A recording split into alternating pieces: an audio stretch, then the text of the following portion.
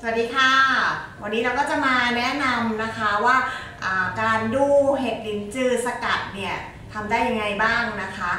หลายคนที่เคยทานเห็ดลินจืออยู่แล้วเนี่ยก็อาจจะสงสัยเอ๊ะเคยทานมาเหมือนกัน แต่ว่าไม่เห็นเห็นผลเลย นั่นก็อาจจะเป็นเพราะเห็ดลินจือที่คุณซื้อมาทานเนี่ยไม่ได้เป็นเห็ดลินจือที่ผ่านการสกัดมานะคะ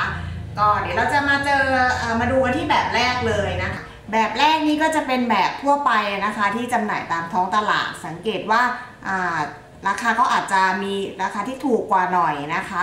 สีที่เห็นเนี่ยก็จะเป็นสีที่ค่อนข้างอ่อนนะคะ ซึ่งเปรียบเทียบกับดอกเห็ดดินจือแล้วเนี่ยสีอ่อนกว่าเห็ดดินจืออีกก็อาจจะมีผสมแป้งหรือส่วนผสมอื่นๆ อยู่ในนี้ก็เป็นได้นะคะ เดี๋ยวเราจะมาแกะดูเม็ดด้านในนะคะว่าเป็นยังไง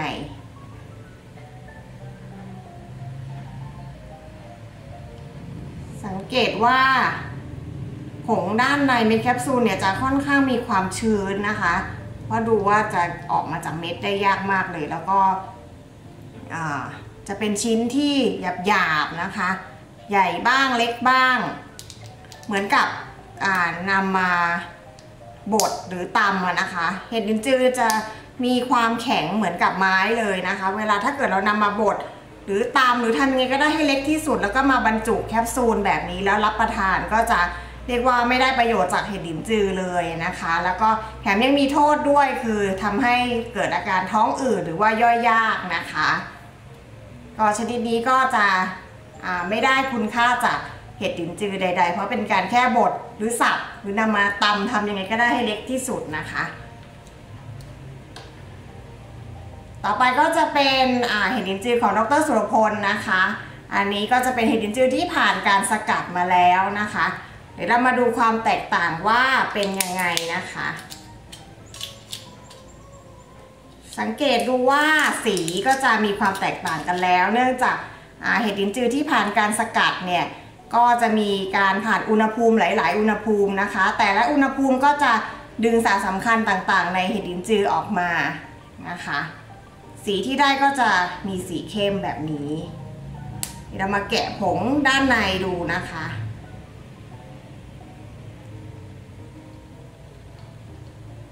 ผงด้านใน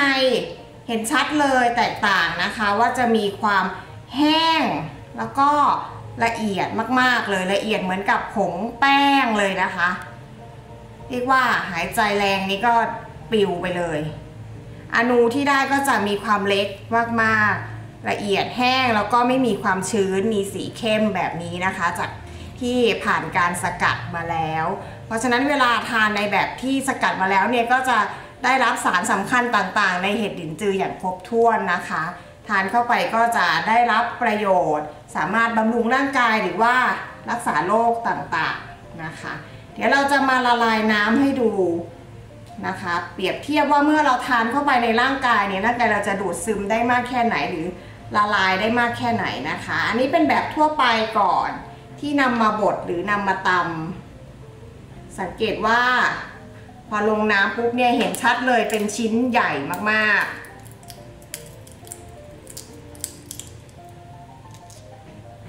แล้วก็ พอโดนน้ำนี่ก็ไม่ไม่ละลายน้ำนะคะ ก็ตกตะกอนลงสู่ก้นแก้วเลยเหมือนกับเศษไม้เศษเอ่อเนื้ออะไรมันเป็นชิ้นเล็กชิ้นใหญ่เต็มไปหมดเลยนะคะ ก็เรียกว่าแทบไม่ละลายเลย เปรียบเทียบถ้าเราทานเข้าไปในร่างกายเนี่ยก็กว่าจะใช้เวลาย่อยก็ต้องใช้เวลาอยู่เหมือนกัน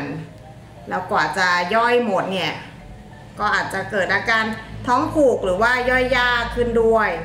และที่สำคัญคือไม่ได้รับประโยชน์จากเห็ดหลินจือเลยนะคะเรามาดูของดรสุรพลนะคะ เป็นเห็ดหลินจือที่ผ่านการสกัดแล้ว ผงก็จะมีความละเอียดนะคะ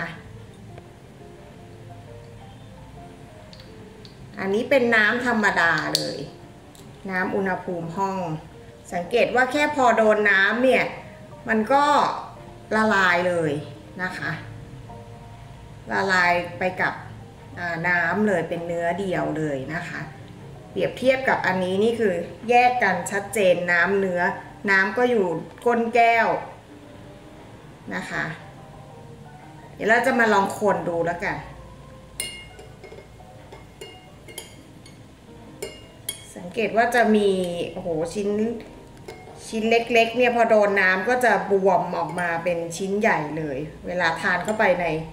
ในกระเพาะอาหารของเรานี่ก็แน่นอนว่าจะท้องอืดแน่นอนเลยนะคะ ส่วนแบบนี้อาจจะละลายไม่หมดแต่ว่าละลายได้ดีกว่ามากนะคะ ก็ทิ้งไว้สักพักก็จะละลายได้ และด้วยอนูที่มีความเล็กมากนะคะ แล้วก็ผ่านการสกัดมาแล้วเนี่ย เวลาทานเข้าไปร่างกายก็จะดูดดูดซึมได้ แล้วก็ในผงเห็ดสกัดเนี่ยก็จะดึงสารสำคัญต่างๆ ออกมาในเห็ดหลินจือไว้ในนี้เรียบร้อยแล้วนะคะอันนี้ก็เป็นวิธีการสังเกตดูอย่างง่ายๆนะคะ เห็ดหลินจือที่คุณรับประทานเป็นชนิดไหนนะคะก็แนะนำว่าถ้าจะทานได้เห็นผลเนี่ยก็ทานในลักษณะที่เป็นเห็ดหลินจือที่ผ่านการสกัดมาแล้วก็จะได้ประโยชน์ดีที่สุดนะคะ